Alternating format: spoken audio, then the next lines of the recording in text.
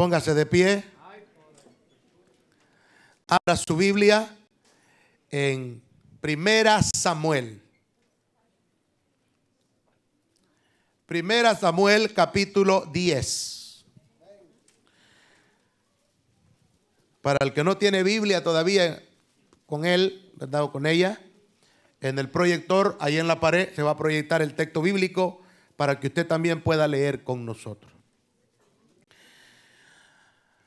No estamos en contra de usar la tecnología, que usted tenga su Biblia en su teléfono, gloria a Dios, ya sea escrito, en audio. lo importante es que usted lea la Biblia, pero es importante que el cristiano evangélico traiga su Biblia a la iglesia. La Biblia es la bandera de la patria celestial. Es la espada de dos filos. Y me compartía, hermano Elmer Turcio, compartía conmigo anoche, dice que un día iba él, él del culto Iba cruzando un tramo que es bastante oscuro por ahí. Y venían unos borrachos, quizás venían drogados y quizás traían la intención de robarle, no sé qué. Y dice que empezaron a hablar con él y cuando vieron que traía la Biblia, dice que le dijeron, no, usted trae la Biblia, usted lo vamos, lo respetamos. Imagínense si no hubiera llevado Biblia el hermano. A ver, hubiera llevado el iPhone ahí, el, el iPad, ¿verdad? Es importante, hermano. Es la identificación del cristiano, del creyente. Si hay alguien aquí también que siente pena andar la Biblia, reprenda al diablo, porque Dios no le va a poner eso. Aleluya. ¿Estamos, hermano? Primera Samuel capítulo 10, versículo 19. Primera Samuel capítulo 10, versículo 6, perdón. Versículo 6. Leemos un versículo de la palabra del Señor y leemos honrando al Padre, al Hijo y a su Espíritu Santo. Entonces el Espíritu de Jehová vendrá sobre ti con poder y profetizarás con ellos y serás mudado en otro hombre. Oiga bien. Y serás mudado en otro hombre. Bendito sea el nombre de Jesús. Ponga su Biblia allí en la banca, cierre sus ojos, levante sus manos a lo alto y ore por mí, mi hermano. Pídale a Dios que Dios ponga palabra en mi boca. Pídele a Dios que esa palabra que usted necesita, que necesita el amigo, aquel invitado, que Dios la ponga en mis labios para yo transmitirla con la ayuda del Espíritu Santo. Dios mío, muchas gracias. Es con tu ayuda, es por tu gracia, es por tu amor que estoy aquí. Bendito Dios, te pido que hables con poder que hable, Dios mío, conforme a tu perfecta voluntad, Dios mío amado. Te pido que salves hoy a aquel que no es salvo. Te pido que salves a aquel que no es salvo. Señor amado, que sanes al que vino enfermo, al que vino desalentado, lo levantes, Dios mío, en el nombre de Cristo. Padre, que en todas las otras voces Toda distracción, Padre, sea quitada en el nombre de Jesús y que solamente la voz del Espíritu Santo, aleluya, hable en esta tarde para la gloria de tu precioso nombre. Gracias, Dios de gloria. Bendito sea el Señor en esta tarde. Gracias, Padre. Aleluya. Den un gloria a Dios y siéntese, mi hermano. Quiero hablar en esta preciosa tarde bajo el tema ¿Convencido o convertido? ¿Convencido o convertido? Porque hay personas que están convencidas que Cristo es el camino, que Cristo es la verdad, que el Evangelio es la verdad, que Cristo es el único camino al Padre, pero hasta ahí no se han convertido. Entonces usted sabe que hay por lo menos tres grupos de personas en la iglesia. Están los conmovidos, están los convencidos y están los convertidos. Conmovidos, convencidos y convertidos. ¿En cuál grupo está? ¿Cuál es el conmovido? El conmovido es aquel hermano que siente lindo escuchar cantos, escuchar un mensaje con agrado, lo oye, se goza y quizás pone en práctica parte de lo que sabe. Y cuando oye los cantos se conmueve. Y quizás hasta llora, ¿verdad? Pero no ha habido ese arrepentimiento. No ha habido esa, esa conversión al evangelio verdadero. Esa parte del Señor. Son los, los, con, los conmovidos, los conmueve el Señor. Cuando ve la película de la pasión de Cristo, ¿verdad? Cómo el Señor sufrió, se conmueve, llora, quizás le salen lágrimas. Pero no hay un cambio en su vida. No ha habido ese arrepentimiento que le lleva a la conversión. Yo le quiero decir a esa persona que está conmovida, se conmueve cuando está ahí, ¿verdad? Pero eso, ese sentir lo tiene que llevar a usted, amado hermano. Le quiero decir en este día que eso lo tiene que llevar a usted a, a convertirse, a arrepentirse de sus pecados, porque es el arrepentimiento el que abre el camino a una nueva vida. Dice aquí el pasaje que hemos leído. Entonces, estoy leyendo 1 Samuel 10, versículo 6. Entonces el Espíritu de Jehová vendrá sobre ti con poder. Personas que quieren ser cambiados sin que venga ese poder sobre ellos. Es imposible. Muchas personas dicen, yo no lo hago porque no voy a poder. ¿Cómo va a poder si no le permite a este poder que venga sobre usted? Dice, entonces el Espíritu de Jehová vendrá sobre ti con poder y profetizarás con ellos y será mudado un cambio, una transformación en otro hombre, no en otro cuerpo. Es el mismo cuerpo, porque cuando se refiere a otro hombre es una persona totalmente diferente, con nuevas actitudes, nueva manera de pensar, un nuevo hombre, una nueva mujer. Eso es lo que está diciendo la palabra del Señor. Y aquí en el Antiguo Testamento nosotros estamos viendo, se refiere al rey Saúl. El rey Saúl era una persona temerosa, era una persona quizás con baja autoestima, se creía quizás demasiado grande. Oye, que la gente siempre se burla de las personas. Si es chaparrito, que porque es chaparro. Si es muy grande, que muy grandulón. Si es flaco, que muy flaco. Si está panzón, que muy panzón. Entonces eso le pasaba a Saúl. Usted no importa, lo importante es que Dios lo ve tal como es. Amén. Un hijo y una hija de Dios. Bendito sea el Señor. En el Antiguo Testamento, el Espíritu de Dios, ese poder que cambió a Saúl, solamente venía sobre los reyes, sobre los sacerdotes y sobre los profetas. Tres grupos de personas. Reyes, sacerdotes y profetas. Pero una vez que Cristo murió en aquella cruz y él dijo, consumado es. Y una persona, desde que Cristo murió allá y entregó su espíritu al Padre, y él dijo que iba a enviar una promesa, que es el Espíritu Santo, que iba a estar con todos aquellos que creen en Él. A partir de ese momento en que Cristo entregó el Espíritu y resucitó al tercer día, el Espíritu Santo no vino en ese momento, dice la Biblia, que pasaron 40 días.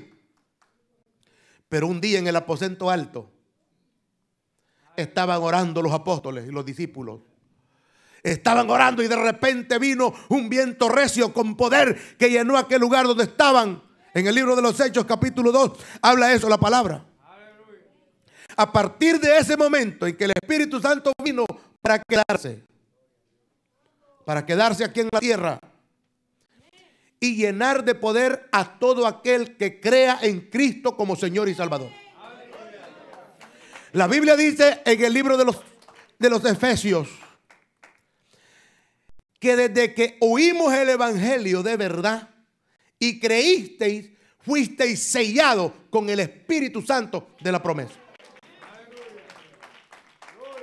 Ya no son solamente los reyes, ya no son solamente los sacerdotes, ni eran solamente los profetas, sino ahora es todo aquel que cree en Cristo, todo aquel que acepta a Jesús como Señor y Salvador, con todo su corazón y con fe, va a venir ese poder de lo alto para ser cambiado, para ser transformado. Bendito sea su nombre. Por eso es un engaño de Satanás que el diablo le dice a las personas, no vas a poder. No creo que puedas. Creo que, que no vas a poder. Hay tantas cosas que tienes que arreglar. Hay personas que dicen, quiero dejar esto primero, dejar el otro primero. No, no, si el Señor dice, venid a mí así como está, así como entró ahora usted aquí, así como vino aquí a este lugar, el Señor dice, ven a mí, tal como esté cargado, cansado, que yo te voy a hacer descansar. Lo único que usted tiene que hacer es creer en Cristo como Señor y Salvador y que usted reconozca que usted ha pecado y se arrepienta, va a venir ese poder que vino sobre este hombre aquí. Van a venir cosas maravillosas sobre su vida. Dice, disculpe usted, en Hechos capítulo 3, Hechos capítulo 3, versículo 19.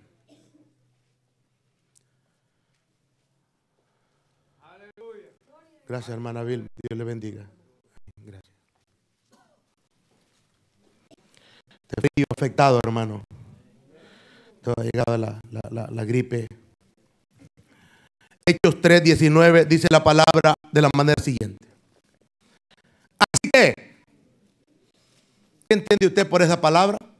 Como que dice, no hay otra opción. Él ya el apóstol Pedro aquí está hablando con los fariseos, con los seduceos y todos aquellos religiosos que los perseguían a él. Que le dijeron que no predicara ahí en esa plaza y él predicaba, lo metieron preso, el ángel lo sacó y estaba parado predicando ahí otra vez. Ya lo habían azotado y dice que gritaban de gozo de haber sido dignos de ser azotados por la causa de Cristo. Y estaba predicando ahí. Y se les acercaron y les estaban diciendo que no les hemos dicho que no prediquen más en ese nombre. Les digo, es necesario obedecer a Dios antes que a los hombres. Entonces él le empieza a hablar y le dice, ustedes han sido los matadores, los que mataron a Cristo, los que lo despreciaron. Y él les empieza a hablar del plan de salvación. Y le dice así, esta, frase es pequeña. Dice, así que no les queda otra opción, no hay otro camino. Y lo mismo le digo a usted que está aquí, que estoy aquí por esta puerta. Así que no le queda otro camino más que reconocer que Cristo es el único camino al Padre. No hay ningún otro. Si otra persona le dice que hay otro camino, que hay otro puente para cruzar de esta tierra al cielo, es mentiroso. Y se llama diablo y Satanás aunque se vista como se vista, se llame como se llame, es instrumento del diablo. Así que arrepentidos.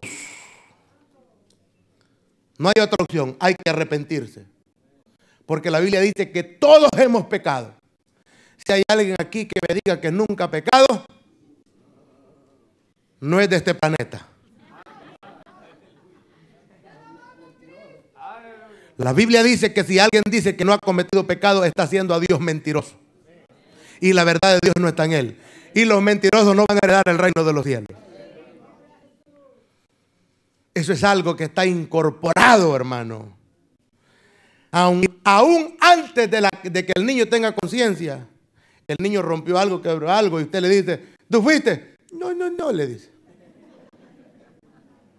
Ya está mintiendo. Todos hemos pecado. Por lo tanto dice, así que arrepentidos. El arrepentimiento es la llave para abrir el corazón de Dios. ¿Qué es arrepentimiento? El arrepentimiento es, hermano, sentir culpabilidad. Sentir dolor de haber hecho algo malo. De haber hecho algo que estaba fuera de orden. Algo afuera de lo establecido. Eso es arrepentirse, sentir culpabilidad, sentir dolor. Así que arrepentido y convertido. O sea que la persona cuando se arrepiente de su pecado, tiene que haber un cambio. Cuando alguien cometió un gran error, hermano. Y dice, no hombre, yo no vuelvo a cometer esto. Se arrepiente de haber hecho aquello y dice, yo no voy a volver a hacerlo. El arrepentimiento le va a traer ese temor. El arrepentimiento le va a traer ese cambio. Yo tengo que ser diferente. Bendito el Señor. Así como cuando una persona sale de la cárcel. Yo fui cuatro veces a la cárcel. La primera vez porque no fui a la corte, tenía corte y me arrestaron. Me dieron orden de arresto y fui. Pagué la fianza y salí. Después en el juicio, el juez me mandó que por tres fines de semana yo fuera a la cárcel del, día viernes a las seis de la tarde hasta el domingo a las seis de la tarde.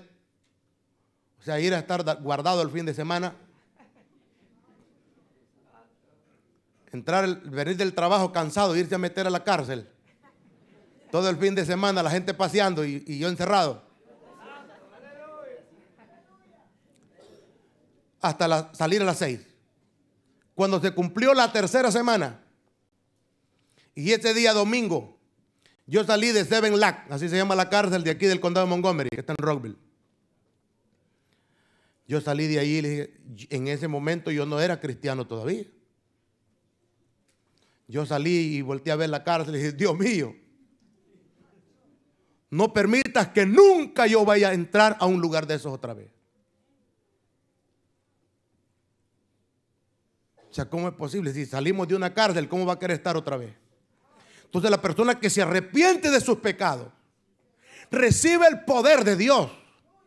Recibe ese poder que dice aquí que vino sobre Saúl y que iba a ser mudado en otro hombre, en otra criatura, en otro ser. Con el mismo cuerpo, con la misma mente. Decir, pero cambiado, hermano. Y usted dirá, ¿cómo será posible esto? Si es posible, si es imposible para el hombre, pero para Dios todo es posible. Es posible eso.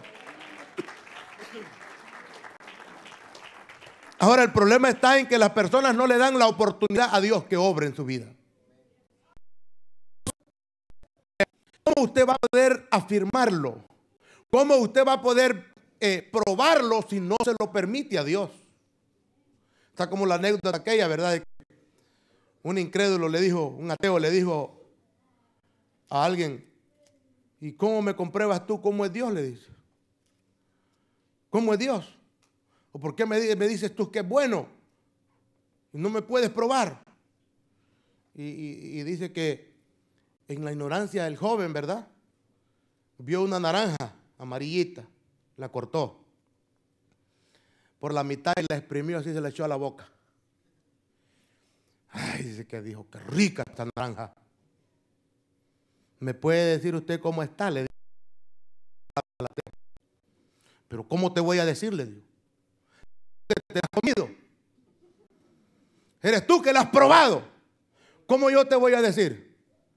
Así es Dios, le ¿Cómo me puedes decir tú que Dios no es real, que Dios no tiene poder, si no lo has probado?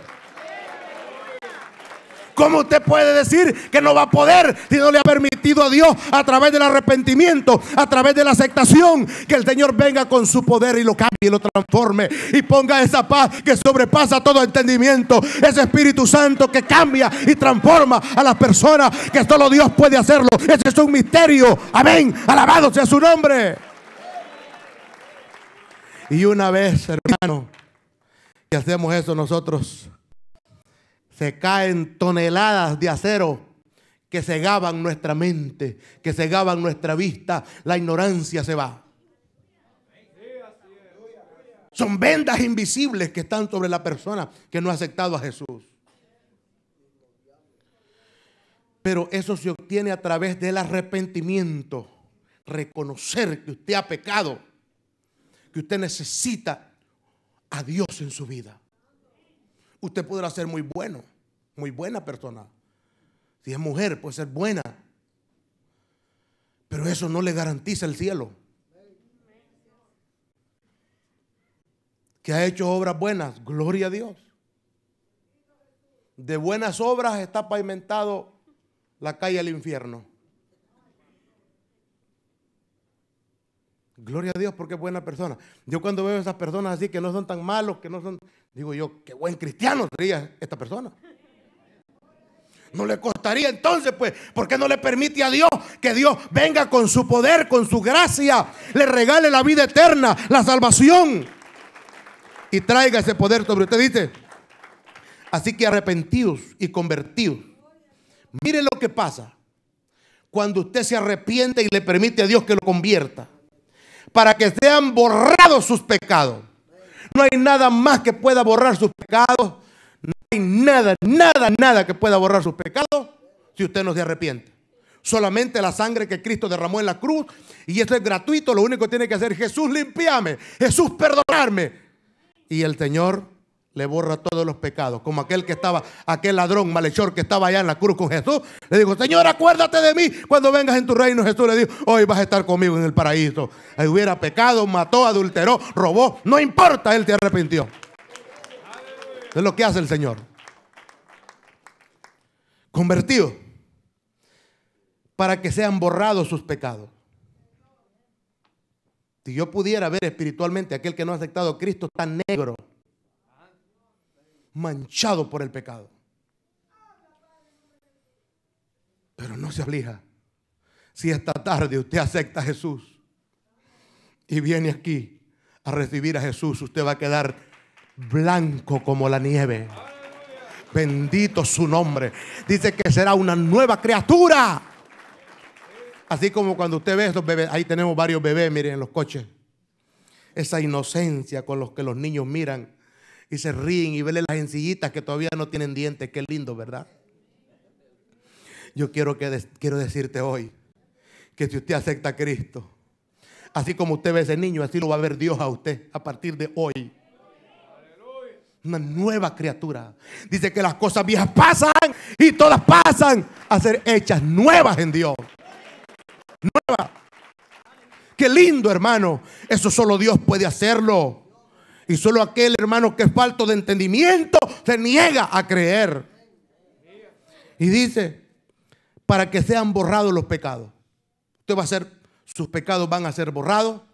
Usted va a recibir el regalo, no es el regalo que le dieron en Navidad, o, nada, ese regalo es perecedero. Hoy usted puede recibir aquí el regalo de la vida eterna el regalo de la salvación, el perdón de sus pecados. Pero dice, para que sean borrados vuestros pecados, para que vengan de la presencia del Señor tiempos de refrigerio. Qué precioso, hermano. O sea que hay que arrepentirse para que sean borrados los pecados y para que vengan tiempos de refrigerio. ¿Qué es un tiempo de refrigerio? Un refrigerio es un descanso es tomar, hermano, un nuevo impulso. Un refrigerio también es, indica, hermano, eh, una cuestión de abundancia en todas las áreas de su vida. Un refrigerio es cuando usted come algo que no es que se está muriendo de hambre, sino que come por placer prácticamente, pues. O sea, usted va a estar tan a gusto que algunos que están a gusto que los tiene el Señor que quieren estar en la miseria y se, alejan del Señor. Dice que van a venir del Señor ese tiempo de refrigerio sobre usted, sobre su familia. Va a venir algo maravilloso sobre usted. Una paz que sobrepasa todo entendimiento. Y usted me dirá, ¿por qué será que yo no tengo esa paz? Pregúntese. ¿Por qué no ha llegado esa paz? ¿Será que hasta está solamente siendo conmovido? Está convencido, pero no se ha arrepentido. Porque el que se ha arrepentido de verdad, hermano, dice que el Espíritu Santo vendrá sobre él y lo mudará en una nueva persona. Y el Espíritu Santo Dios le guarda. Le guarda, le cuida, le protege. Mire cuánta gente paga los guaruras, paga los, seguridad para que lo anden cuidando ahí. El Señor es el que le guarda a usted. Hoy es un día especial, marcado en el calendario de Dios para usted que entró aquí hoy esta tarde. Y usted que me está mirando a través del video, a través de la transmisión en vivo. Este no es cualquier día. Es un día especial en el calendario de Dios. Dios lo ha traído aquí. Dios ha permitido que esté viendo este video porque Dios quiere cambiar tu vida. Dios quiere transformar tu ser. Bendito Dios. Dios quiere darte salvación hoy en esta tarde, mi amigo. No permita usted hoy salir con vino. No salga por esta puerta sin que hoy usted le haya permitido a Dios entrar a su corazón, a su vida. Es que esto es un, es un misterio, hermano, que se recibe por la fe. Todos aquellos que hemos experimentado el cambio de Dios en mi vida. Yo decía, Señor, ¿cómo es posible? Cuando yo acepté a Cristo, hermano, y empecé yo a leer la Biblia, a orar y a escuchar aquellos signos preciosos del hermano Oscar Medina. El poder del cristiano y todos esos cantos, hermano. Me acuerdo que eran unos cassettes.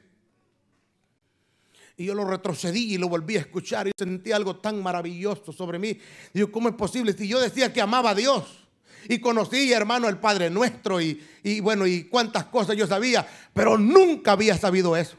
Nunca había disfrutado de la presencia de Dios en mi vida. El Espíritu Santo morando en mi ser. Eso solamente pasa cuando la persona reconoce que ha pecado, reconoce que es pecador, se arrepiente, acepta a Cristo. Viene ese poder sobre usted. Dice que van a venir del Señor tiempo de refrigerio. Dios quiere bendecir a usted y su familia. El refrigerio es algo, hermano, que dice, bueno, me sobra, tengo en abundancia. Hoy que venía de camino a la iglesia, venía escuchando la radio. Y el hermano venía hablando acerca de las bendiciones de Dios, que todos queremos bendiciones de Dios, pero Dios tiene ciertas condiciones, ¿verdad? Eh, eh, en la vida para, para bendecirlo. Y él decía que hay personas que dicen, yo no puedo dar nada porque soy pobre. Y dice, precisamente por eso hay que hacerlo, para que Dios lo bendiga. A través del, eh, cuando él venía, él hablaba del diezmo acerca de Malaquías. Cuando la, Biblia dice que probarme ahora en esto, dice el Señor. Si no les voy a abrir las ventanas de los cielos, voy a derramar las bendiciones sobre ustedes. Y sobreabundará en tu casa, tu familia, en tu mesa. Y dice, reprenderé también al devorador, aquel que le roba, aquel que le estafa. Lo va a reprender el Señor. Pero todo eso vendrá a través de el arrepentimiento. Así que arrepentidos y convertidos para que sean borrados nuestros pecados y para que vengan de la presencia de Dios tiempos de refrigerio. No solamente esté conmovido, que vio la película La Pasión de Cristo y dice, sí, Jesús es verdad que Jesús murió en la cruz por mí, Jesús allá murió en el Calvario, ¿verdad? y usted está conmovido y está convencido de que Cristo es el camino, que es el que Él es el único que lo puede salvar. Usted está, ya, dio dos pasos importantes. Solamente le falta el definitivo, el arrepentimiento y aceptar a Cristo. Arrepentirse de sus pecados, aceptando a Jesús, el Señor lo va a bendecir. Y es una orden, quiero que sepa. Es una orden. No le estoy ordenando yo, o lo estoy tratando de convencer. No, yo le estoy comunicando a usted una verdad que está en la Biblia. Dice Hechos 26, 20. Hechos 26, versículo 20. Dice que anuncie primeramente a los que están en Damasco y Jerusalén. ¿Está contigo, hermano? Si no, el proyector ahí está también. Estoy leyendo Hechos 26, versículo 20 que anuncie primeramente a los que están en Damasco, es decir, en Siria, y Jerusalén, y por toda la tierra de Judea, y a los gentiles, gentiles usted y yo, que se, que se arrepintiesen y se convirtiesen a Dios, haciendo obras dignas de arrepentimiento. O sea que la persona cuando viene a Cristo, que se arrepiente de sus pecados, tiene que hacer obras dignas de arrepentimiento. Con la ayuda de Dios, usted lo hará de, esa manera. Ahora la pregunta es, ¿será suficiente con que la persona venga a Cristo y ahí todo? Dice, tengo una nota aquí. Muchas personas creen que para convertirse solo deben aceptar a Jesucristo en su corazón, profesar fe en Él, palabras o entrega su corazón, eh, por palabra o entregar su corazón a Cristo. Pero ¿acaso son solo pronunciaciones? o solo pronunciar el nombre de Jesús, ya hemos nacido de nuevo como cristianos. ¿Qué significa nacer de nuevo? ¿Qué significa realmente ser cristiano? ¿Qué es la conversión? ¿Es algo inmediato o un proceso? ¿Será que es algo inmediato, instantáneo o es un proceso?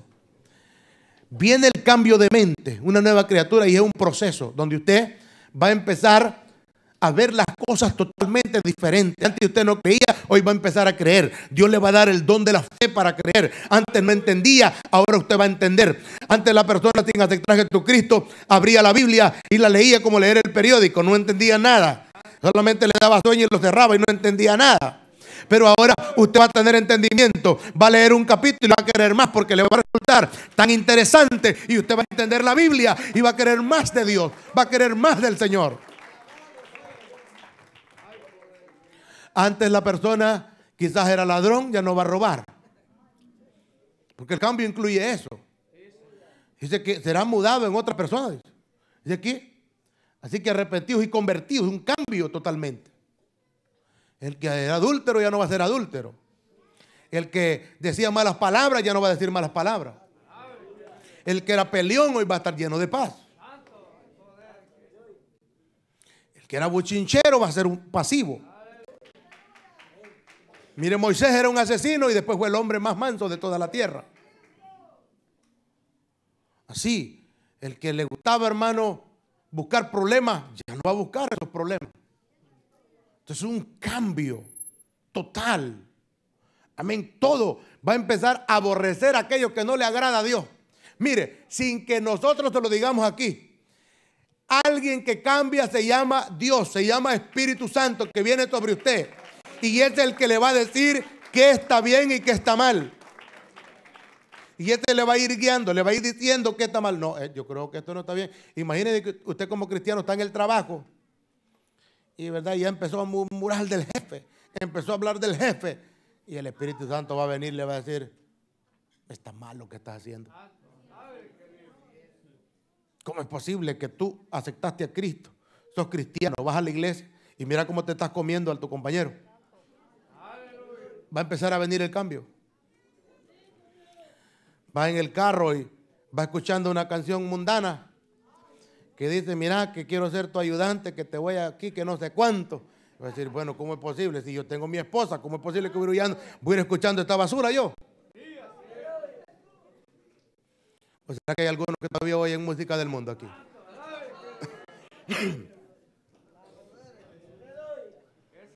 Porque yo, no creo, hermano, que un cristiano, ¿cómo va a dejar de escuchar una alabanza para oír basura, pues? Para oír música del mundo. Y más yo ahora, hermano, que veo, que veo esos, estos artistas tan feos, horribles, hermano. Por lo menos antes, hablando, imagínense, esos, yo me acuerdo, hermano, esos artistas famosos que habían antes, como, como el Puma, eh, eh, este, ¿cómo se llama? hasta el nombre de esa gente se me olvidó, gracias a Dios el Camilo VI, el Perales, llegaban bien trabajados, hermano. Como que eran diplomáticos. Y ahora usted ve a estos marihuanos con grandes argollas aquí, como que son chanchos, hermano. Llenos de tatuajes. Qué basurero es el mundo, hermano. ¿Cómo usted le va a prestar su corazón, su mente a un, a un pagano de esos para que, para que le esté inyectando, hermano, cosas satánicas, cosas diabólicas? y corrompan su mente. No. Entonces va a decir, no, ya no. Voy a escuchar ese canto que dice, Señor mi Dios, al contemplar los cielos. Oh, bendito el Señor. Y del cielo viene, hermano, esa presencia tan linda y maravillosa. Todo es diferente. Todo es diferente. Dios va a traer ese cambio a tu corazón. Bendito el Señor. Es que es tan precioso, hermano. Imagínense cómo es posible. Si hay una persona aquí todavía que tiene música mundana en el carro, oye música mundana, arrepiéntase, necesita arrepentirse. Bote o cassette, bote o disco. Todo aquel que lo hace, lo cambia el Señor. Y lo repito porque sé que siempre viene gente nueva y hay algunos que quizás lo hacen.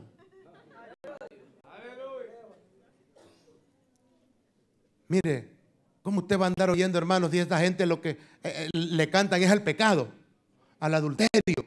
Usted no toda esa gente, hermano, estos artistas mundanos. Se casan hoy, se divorcian mañana, se casan pasado mañana. Y en un año se han divorciado tres veces. Y es por eso que hay tanto divorcio hoy en día. Porque hay un mensaje subliminal en la mente. Por eso cada pareja que no tiene a Cristo, nomás un pequeño problemita ahí en el, en el matrimonio, en la pareja. El primer mensaje que le manda a Satanás, ¿cuál es? Divorciate. Separate, andate. No, hombre, si te vas de tu casa, hay tres viejas que te están esperando. Más que sos buen mozo, le dice el diablo. No, hombre, le dice el diablo, más que tenés papeles, rápido te vas a encontrar una otra vieja. Ese es el mensaje de Satanás. Pero aquel que le ha permitido a Dios ser cambiado, no. Soy hijo del Señor. Dios me ha dado el Espíritu Santo. Dios me ha dado su poder. Tengo una esposa, tengo mis hijos. ¿Cómo que yo voy a ser chancho que me voy a revolcar allá con una vieja que no es la mía? ¿Cómo usted va a poner en riesgo su salvación? El Espíritu Santo que es tan lindo sobre mí, hermano, por ir a dormir con una mona que no es mi esposa. No es posible. No.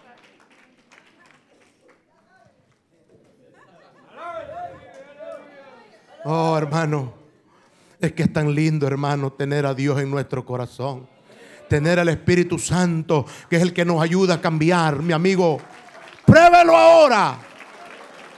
Dele la oportunidad a Dios de obrar en tu vida hoy. Vamos a orar, incline su cabeza, así como está. Vamos a pedirle a Dios en esta tarde. Que Dios bendiga nuestra vida, nuestra familia. Padre, muchas gracias. Señor, en esta tarde yo sé que, hay personas, Dios mío,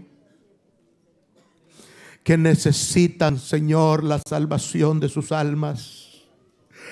Dios eterno, en esta tarde sé que aquí hay personas, Dios, que por cuántos años tú les has venido hablando y les has estado esperando, Señor. Dios mío, no permitas que nadie que entró sin salvación a este lugar salga hoy sin Cristo de aquí. Padre, en esta tarde que tú has marcado en tu calendario para escribir su nombre en el libro de la vida.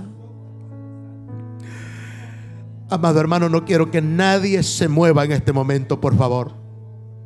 Siento que el Espíritu Santo va a hacer algo maravilloso hoy en esta tarde. Quiero, hermano, que le pidamos al Señor hoy por la salvación de las almas de aquellos que están aquí y los que están viendo el video allá, allá en su casa. Padre, en el nombre de Cristo. Señor, dice tu palabra que tú has enviado el Espíritu Santo a convencer de pecado, de justicia y de juicio. En esta tarde, yo quiero invitar a toda aquella persona que quiera hoy invitar a Cristo a su corazón a invitar al Señor para que Él sea su Salvador, su Señor. Y usted arrepentirse de sus pecados. Y usted lo va a hacer a través de esta oración. Allí donde está. Allí donde está en su banquita. Y agache su cabecita en señal de reverencia al Dios que le da la vida. Al Dios que le da el aliento. Y ore conmigo estas palabras. Hágalo con fe. Hágalo con fe que Dios lo está viendo en este momento. Repita así. Señor Dios Todopoderoso, díganle, en este día, yo reconozco que yo he pecado, Señor, contra ti. Dígalo. Yo he pecado contra ti, Dios mío, pero hoy, diga, yo me arrepiento. Diga esta palabra, yo me arrepiento con todo mi corazón me arrepiento de todo pecado que he cometido. Perdóname, Señor. Dígale, perdóname. Y borra toda maldad, todo pecado. Dígale así, Señor Jesús, yo te acepto hoy como mi Señor y mi Salvador. Dígale así, Jesús, lávame límpiame con tu sangre derramada en la cruz. Pídale esto, Señor, escribe mi nombre allá en el libro de la vida. Y hoy este día acepto a Cristo para que sea mi Señor y mi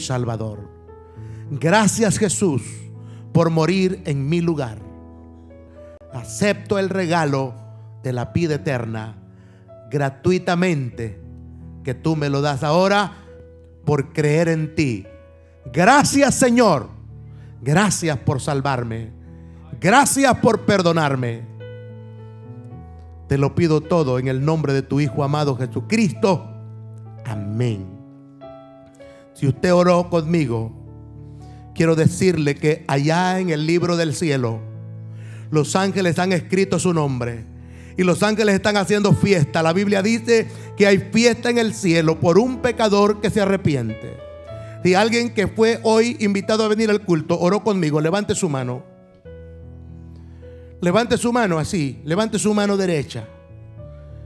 Levante su mano, allá veo una mano levantada. Allá también, Dios les bendiga. Gloria a Dios. Quiero invitar a la persona que levantó la mano y cualquier persona que está aquí y no ha aceptado a Jesús hoy, venga aquí al altar que queremos orar por usted. Venga aquí, por favor, quiero invitarlo. Gracias Jesús. Venga aquí, la persona que levantó su mano, queremos orar por usted. Toda persona que no ha aceptado a Jesús, venga, venga, hoy es el día de salvación para su vida. Padre, muchas gracias. Venga, venga aquí, Dios le bendiga. ¿Ahí hay alguien ahí? ¿Le gustaría aceptar a Cristo? Párese, póngase de pie y venga aquí adelante. Queremos orar por usted. Dios le bendiga.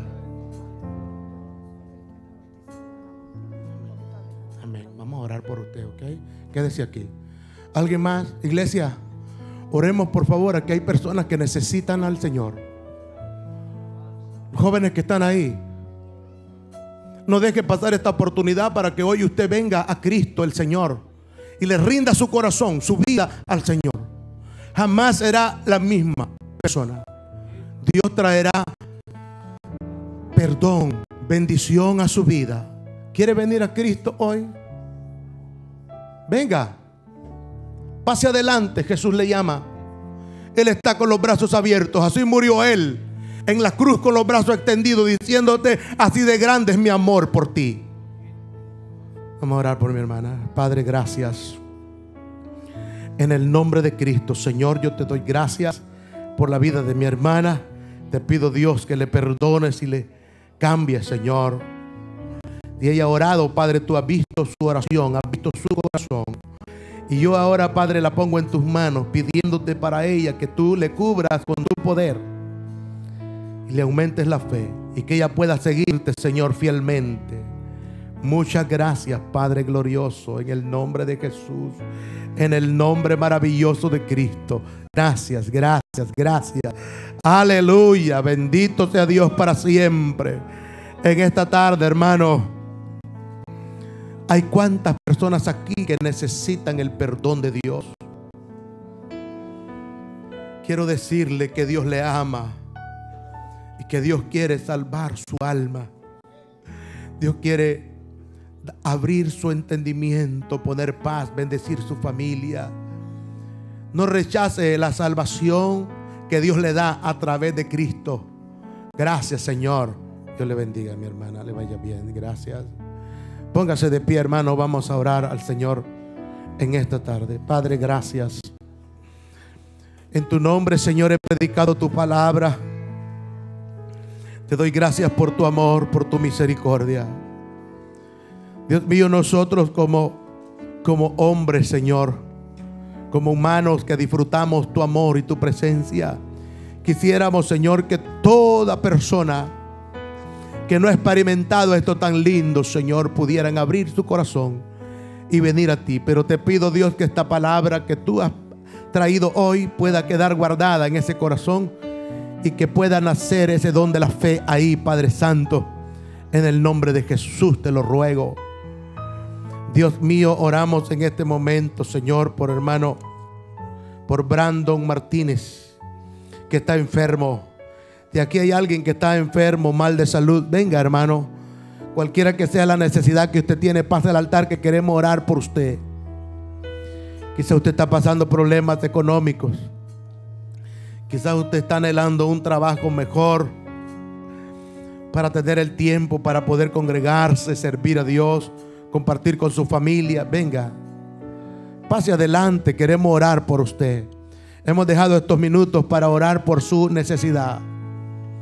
Padre, oramos por hermano Carlos Méndez que pide ahí el hermano por su abuela Marta Reyes que se encuentra bastante mal de salud.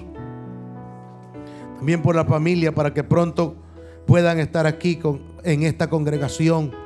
Gracias, Dios mío. Mira el niño Brandon Martínez que está estropeado de salud. Dios mío, te suplico en el nombre de Jesús, Señor, que tú lo ayudes. También, Padre, las peticiones que han escrito mis hermanos ahí en el Facebook, en el canal del YouTube. Hermana Saraí, que pide por su amiga Perla Ortiz que Dios la levante. Sí, Señor.